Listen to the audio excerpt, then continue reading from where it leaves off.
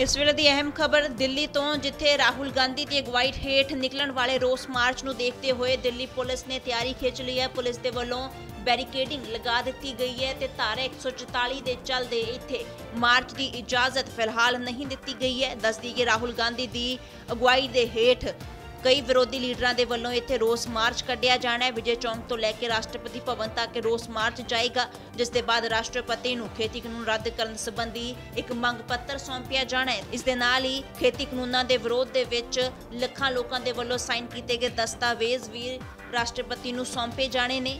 ਇਸ ਮਾਰਚ ਨੂੰ ਲੈ ਕੇ ਪੰਜਾਬ ਤੋਂ ਵੀ ਸੁਨੀਲ ਜਾਖੜ ਐਮਪੀ ਪਰਨੀਤ ਕੌਰ ਸਮੇਤ ਕਈ ਵੱਡੇ ਲੀਡਰ ਇੱਥੇ ਪਹੁੰਚੇ ਹੋਏ ਨੇ ਤੇ ਰੋਸ ਮਾਰਚ ਦੀਆਂ ਤਿਆਰੀਆਂ ਮੁਕੰਮਲ ਕਰ ਲਈਆਂ ਗਈਆਂ ਨੇ। ਥੋੜੀ ਦੇਰ ਦੇ ਵਿੱਚ ਰੋਸ ਮਾਰਚ ਸ਼ੁਰੂ ਹੋ ਜਾਏਗਾ, ਜਿਸ ਨੂੰ ਦੇਖਦੇ ਹੋਏ ਦਿੱਲੀ ਪੁਲਿਸ ਨੇ ਵੀ ਇੱਥੇ ਬੈਰੀਕੇਡਿੰਗ ਲਗਾ ਦਿੱਤੀ ਹੈ। ਦਿੱਲੀ ਤੋਂ ਨਿਤਿਨ ਤਿਮਾਨ ਦੀ report. All world open challenge 17 time gold medalist Miyan Rafiq Mohammad पंडित मौलवी बेगम तांत्रिक इन चोरा ठगा तो सावधान स्पेशलिस्ट वशीकरण सट्टा नंबर लव मैरिज पति पत्नी च अनबन विदेश च पक्का होना कारोबार का ना चलना सिर्फ़ 31